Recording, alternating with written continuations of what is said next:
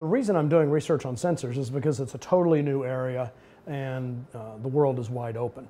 The reason I'm doing research on ingestible biosensors is because medications require that you take them in order to be effective. Adherence, the number of times somebody takes a medication when they're supposed to, is an important measure of health.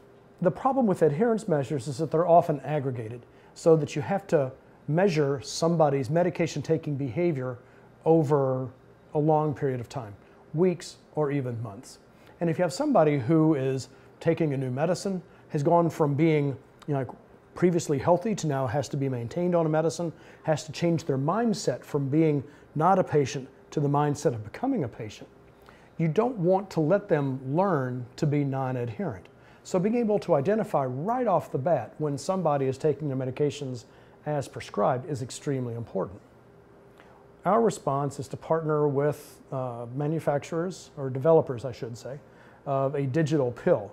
And the digital pill contains a radio frequency emitter, which activates in stomach acid so that when you take the pill, the radio frequency turns on, it's detected by a small reader that acts as a relay, downloads information to the web. So I will know within a few minutes of when somebody takes their medications.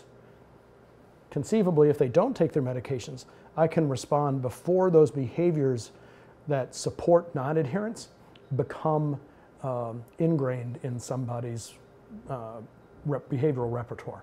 So I can respond to non adherence, teach them how to take their medications, find out why they didn't take them, and hopefully improve health overall by knowing when they took them in real time.